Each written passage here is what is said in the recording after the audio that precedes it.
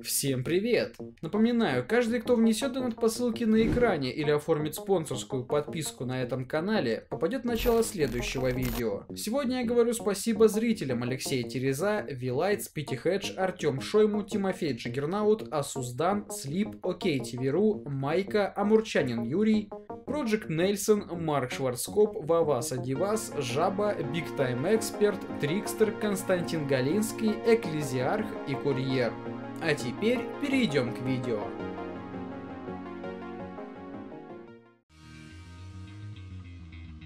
В последнее время на канале стало появляться очень много вопросов относительно того, какой мой квест любимый, какая фракция мне больше всего нравится и так далее и тому подобное. Ну что ж, я думаю, в таком случае нам просто таки необходимо прямо сейчас взять и волевым решением вернуться к формату топов, и иногда садиться и размышлять на тему того, что из перечисленного выше мое любимое в разных играх серии. Ну и разумеется, мне всегда интересно почитать в комментариях о том, что любимо лично вами. И сегодня я уже в который раз нарушу свою новомодную традицию с вопросами и просто попрошу вас написать в комментариях пятерку квестов из первой части, которые очень нравятся лично вам. Будет действительно прикольно сравнить, за что мы любим эту игру.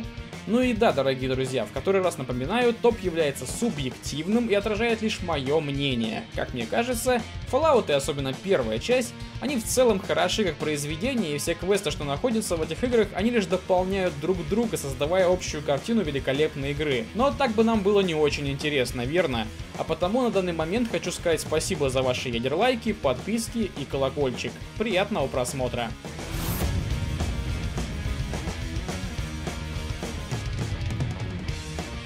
На пятой строчке моего топа я хочу разместить квест, который мы можем пройти в свечении. В это прекрасное место нас посылают Братство Стали, и в одном из недавних роликов, в котором я объяснял, почему эти железяки меня бесят, в комментариях кто-то немного не понял. Вроде одна из моих любимейших локаций это свечение, но квест мне здесь не нравится. Нет, дружище, квест мне как раз нравится, он действительно атмосферный и крутой.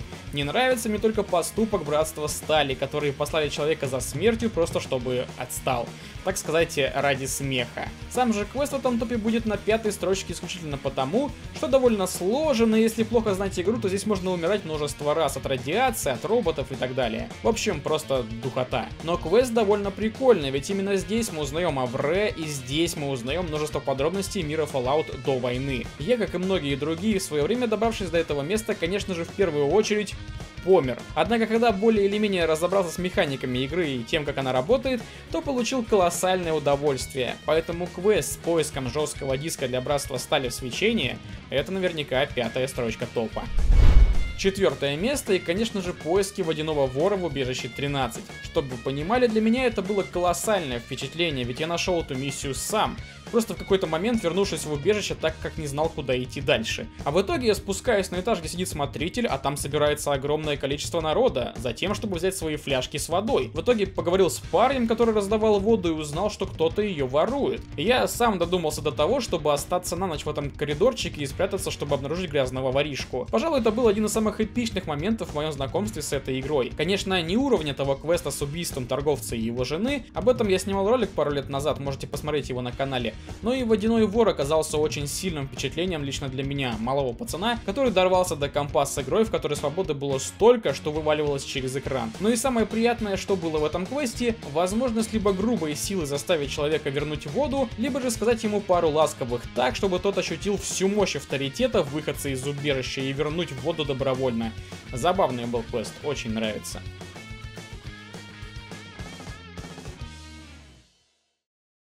На третьем месте я решил расположить квест, который мы можем пройти в Джанктауне. Он связан с конфликтом Гизма и Киллиана Дарквотера. Киллиан это местный шериф, которому очень не нравится тот факт, что Гизма занимается в его небольшом городке различными неприятными штуками. Гизма же владелец местного казино и зачастую, конечно же, прибегает к помощи различных банд для того, чтобы выбивать долги и делать прочие не особо приятные вещи. Смысл в том, что Кириан в этом всем человек закона, и ему необходимо подтверждение того, что Гизма негодяй. А начинается квест очень круто, в стиле боевиков. Главный герой стоит в магазине, как вдруг в него входит некий человек и пытается пристрелить Киллиана. И именно с этого момента, так уж получается, но главный герой втянут в борьбу этих двух крупных фигур. Самое крутое в этой миссии, разумеется, вариативность. Можно принять одну из сторон и действительно повлиять на судьбу поселения. Об этом даже расскажут в финале игры. Я уж не говорю о том, что вариативность прохождения этого квеста не заканчивается на выборе Киллиана или Гизма. Любой из вариантов можно по-разному разрешить. Ну а сама возможность лично пристрелить Гизма вместе с охранниками, ну это просто прекрасно. В общем, третье место и квест в городе Джанктаун. На второй строчке, я думаю, необходимо расположить задание за спасением Танди. Совсем недавно мы о нем уже разговаривали, поэтому в памяти еще свежи воспоминания о том, как было круто и вариативно спасти девушку, уж не считая, что можно тупо встать на сторону ханов. И пускай это ничего бы не принесло для главного героя, за исключением того, что главный герой потеряет карму, однако возможность повести себя как последний ублюдок была. Почему же я хочу поставить этот квест на второе место? Так это потому, что чуть ли не первое крупное задание, которое встречает игрока, просто таки наполнено самыми различными способами его выполнения. Можно и уговорить, и вызвать Гарла на честный поединок, и даже прикинуться его давно умершим отцом. Очень большой пласт вариативности был в этом квесте, я уж не говорю о значимости его для лора и вселенной игры. Кроме того, этот квест на самом деле олицетворяет весь первый Fallout, наравне с заданием в Джанктауне. Всегда есть выбор, всегда есть альтернативный путь решения, всегда есть возможность сделать что-нибудь такое, о чем ты даже задуматься не мог. Например, надеть на героя кожаную броню и взять в руки копье, а бандитам почудится, что ты их бывший предводитель, которого убил его собственный сын. Это действительно круто. Ну а на первом месте я, пожалуй, расположу ну, это, как мне кажется, не особо честно, но главное задание с поиском чипа. Это было действительно огромное и незабываемое приключение, которое держало игрока слегка на нервах, ведь вот-вот закончится вода в убежище и нужно торопиться. И учитывая, что мир в игре довольно большой, а где искать водяной чип неизвестно, то игра превращалась в самое настоящее приключение, причем очень скоротечное. И я более чем уверен, что лишь единицы счастливчиков смогли пройти основное задание с первого раза, не изучая при этом гайды. Разумеется, сейчас в мире, где есть интернет и куча салютов, Evolution пройти игру очень просто. Однако в начале нулевых, когда играл я сам, у меня ушло очень много времени на то, чтобы нормально изучить мир первого Fallout и отыскать водяной чип, при этом сделав все правильно. Конечно же, после находки водяного чипа начинается главный квест с создателем и военной базой, однако это уже был просто оверкилл в плане сюжета, но выходить в открытый мир ничего не зная об этом мире и искать то не зная чего и не знамо где, это было действительно круто, хардкорно и интересно. Вы проходили первый Fallout без солюшена? Если да, то быстро справились с игрой? Напишите об этом в комментариях, мне действительно интересно узнать, насколько хардкорны мои зрители, ну и насколько бесполезен в сложных играх лично я. Здесь хотелось бы сделать небольшое дополнение к топу. На самом деле значимых квестов в первом Fallout достаточно много, ведь все они были по сути своей предтечей всего того, что мы увидели в серии вплоть до Нью-Вегаса. Почерк первой команды, которая работала над первым же Fallout, также можно заметить в недавнем The Outer Worlds. Квесты там есть очень похожие и по наполнению, и по юмору. Большинство заданий первого Fallout это совсем коротенькие истории, которые позволяют вам побывать в самых разнообразных ситуациях, но при этом все эти ситуации вполне вписываются в общую концепцию игры, абсолютно не убиваясь из общей атмосферы. Разработчики даже удаляли придуманные ими же задания и целые локации, потому что им казалось, что это будет слишком контрастировать с общей историей. И на самом деле очень неблагодарное дело создавать топ-квестов в любимой игре любимой серии. Поэтому в этом заключительном слове хотелось бы сказать, что весь Fallout 1 это самый лучший квест, который случался со мною за всю игровую жизнь. И скорее всего это просто синдром утенка, но что уж тут поделать.